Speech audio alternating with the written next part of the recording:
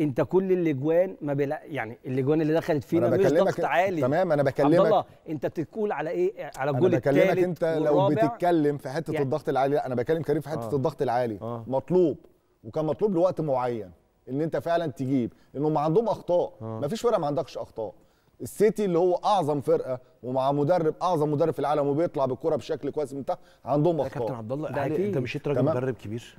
دلوقتي الضغط العالي ده بيتعمل إزاي؟ ممكن تشرح للناس الضغط العالي ده man to؟ man واحد؟ ضد واحد. يعني إيه الخطوط كلها بتضغط. الثلاث خطوط في ظهر بعض المسافات هو قريبة والمساحات تبقى أهي بتتكلم المش- في 30 لا هاتوا هاتوا التصويبة اللي كان فيها دي بتوع ما هو ده الجول. آه. بص ديانج فين وبص حمدي فتحي فين بص أنا أقول لك على حاجة. أنت بتشتغل ضغط عالي. تشتغل zone. لازم الثلاث خطوط قريبين من بعض. بالظبط كده. المشكلة أنا شفت النهارده. الأهلي عنده خط الدفاع واقف ورا جدا. نص الملعب والمهاجمين بيضغطوا جامد. النادي الأهلي النهارده بتلعب بتلعب على فاضية. 1060 متر النهارده. وده بالظبط مش مطلوب كده. وما فيش الكلام ده بطل في الكورة دلوقتي. انت بتشتغل حتى تحت الكورة بتشتغل على الأقل في 25 ياردة. آه، وانت كريم. بتضغط من فوق بتشتغل على الأقل في 25 ياردة. معلش عايز أقول حاجة بس. انت معلش انت الاجوان اللي دخل الثلاث اجوان اللي دخلوا فيك إزاي؟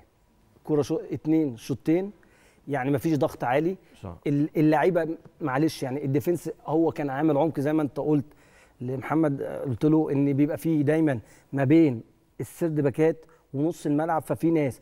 تخيل بقى إن الاثنين ال defender كانوا أساسا داخ- داخلين في حضن ال- ال third back ات. فهي دي كانت المشكلة. فاللعيبة آه، بدأت تشوط. يعني انت حلول صن داونز إيه؟ جابوا جونين شوطين. وجون عبد المنعم عشان ما طلعش عشان تركيز عبد المنعم. كان قليل جدا وأوحش ماتش أوحش ماتش أشوفه له وبقاله فترة أنا بعتب عليه يعني بأمانة لأن أنا حاسس إن هو تركيزه حاسس إن الثقة مدي, مدي نفسه ثقة زيادة عن اللزوم. حاسس إن هو بقى أحسن third back في مصر. لا مين أنت أفضل منه في لسه؟ بدري لسه أفضل؟ بدري قوي. أنت بقالك يعني يا دوب سنة ونص بتلعب كورة. مين أفضل منه في الأهلي؟ مفيش. ما هي دي. الكارثة. مفيش حد. ما هي دي الكارثة مفيش حد. حد. يعني إن أنت مثلا دلوقتي إن أنا عايز أقرص عبد المنعم وأخليه هقول لك يتعلم على حاجة حسن برضه عشان يعني حتى لو أنا حاسس بنفسي إن أنا أحسن مساك في مصر حقه وضعه طبيعي. لأن هو الفترة اللي فاتت عبد الله شغال الماتشات. المهمة لازم وأنا أبان مش أبان مش هنبقى قاسيين. قوي على اللعيبة. صدقني والله أنا بكلمك كلام كورة مش هبقى قاسي. لأن اللي كان بيتفرج بره ده كان بيتفرج زي زي أي مشجع أهلاوي أو مشجع أي مشجع مصري بيتفرج على الماتش. اللوم اللي يتلم ويشيل الليلة كلها هو كولر. والله اللعيبة. لا لا أنا مش معاك في لا دي. لا لا لا. معلش ما انت أنت يعني عندك هو ده رأيك طبعا. أنا هقول لك أنا- حاجة. ممكن أقول الاثنين وضع طبيعي ما هي منظومة بس أيوة، هو يعني- مين الأساس؟ مين اللي بيشيل الليلة؟ عشان أنا كولر مثلا يعني قلت اللعيبة معلش. أنا معلش يا كابتن عبد الله. أنا. قلت اللعيبة تضغط لما تضغط تاخد الكوره من مناطق مهمة. بالظبط. ما خدوهاش. أنا قلت اللعيبة في مواقف واحد ضد واحد ما تاخدهاش. أنا قلت لهم في الجون الثاني من مين؟ الكوره ال second ball في ثلاثة واقفين من مين؟ الثلاثه بيسيبوا من الكوره مين؟ من مين؟ إيه؟ شخصية. المدرب اللي بره. لا يا حبيبي.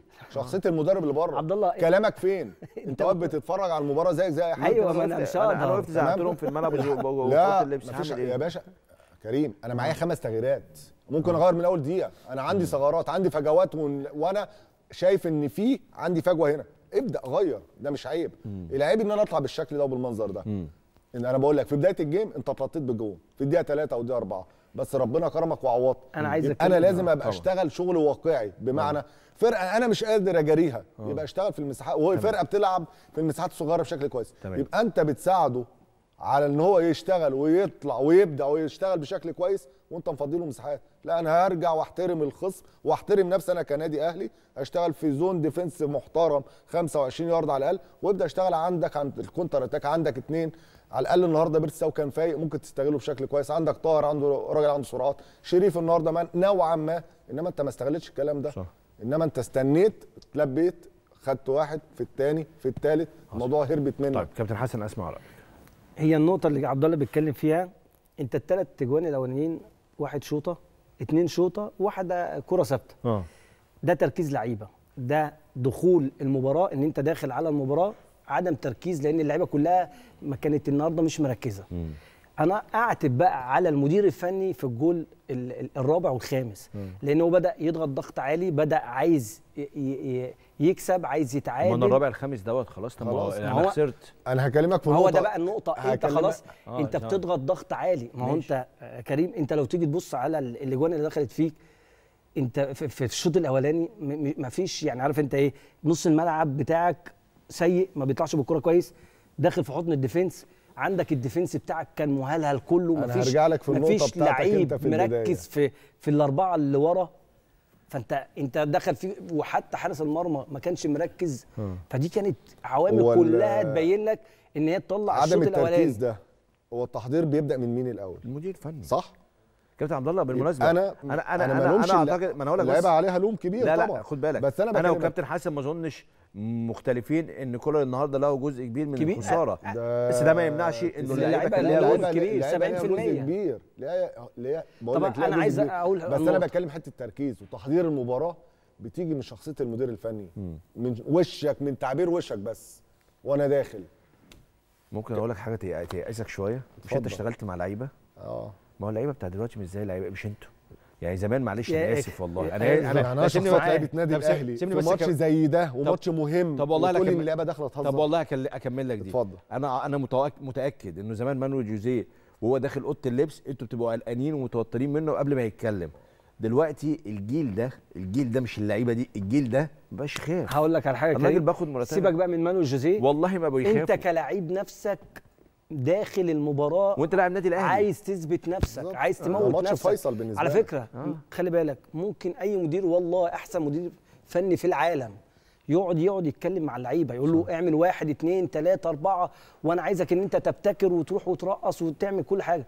اللعيب تركيزه لما هينزل هيعمل إيه؟ حماسه عامل إزاي؟ معدل جريه في الملعب هيبقى عامل إزاي؟ يا كريم المشكلة إن اللعيب بتاعنا بتحس إن هو بينسى. صح. تديله المعلومة وهو نازل الملعب بينسى. ما أنا بقول لك الكلام ده ده التحضير اللي قبل المباراة بيوم باتنين بتلاتة. أنت حضرت بالشكل اللي يليق بنادي الأهلي واللي يعني أنت إن أنت تكسب يعني أنت متخيلك متخيل إن كولر رايح واخد اللعيبة معاه ومسافر بالطيارة وما قالش كل اللي إحنا عايزين نقوله أو اللي إحنا بنفكر فيه أو كل الحماس اللي عايز يديه. ومثلا كابتن الخطيب قعد معاهم واتكلم معاهم في كل النقط اللي إحنا بنتكلم فيها. اللعيبة نزلت عملت إيه؟ هي دي النقطة. كان ما إدارة المباراة غلط أساسا. أنت بتدير المباراة غلط. حتى والله لو المدير الفني منظومة واحدة. وحش هي منظومة واحدة. ننهي هذا الخلاف. بين الكابتن حسن والكابتن عبد الله حول من المتسبب. كولر أم اللاعبين؟